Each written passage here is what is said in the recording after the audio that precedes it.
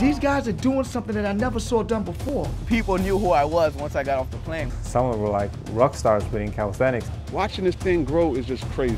Years ago, there was no such thing as extreme calisthenics. This was all new. I think this is one of the fastest growing sports. I don't understand how the government is not getting involved in this global movement. The minute it catches on, it will explode. People started getting tired of going to the gym.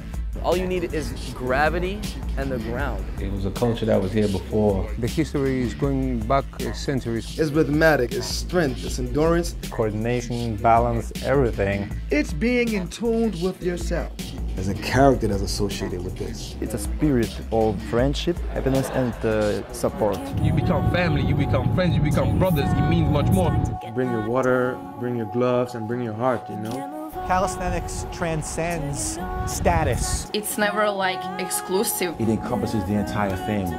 It's more like a social movement because it's more for the kids. What we're doing is just use this sport as a tool. This is saving lives, saving communities, and bringing families together. It's bettering the hood from what I see. It started from community building to personal training to to sports events. Lo and behold, it became like a, a phenomenon. People are really referring to this as a whole worldwide community. It's a competition, but it's a competition within a community. This will be the year that sets the rules and makes the standard of how street workout competitions will be in the future. I'd love to see it evolved as a proper sport, but then I'd also be worried. This explosion is really good, but I feel a bit threatened. I think it's spreading and commercializing in a really big way. It's up to the people that really want to take care of the culture to really keep it.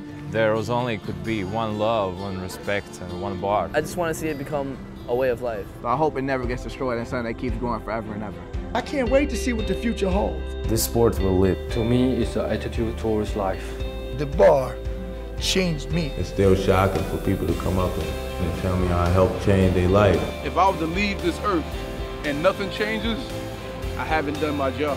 And when I say this sport saved my life, I mean it saved my life. I wouldn't be where I am today if it wasn't for this this sport right here. Don't know how to push your weight up. It's gonna save your life.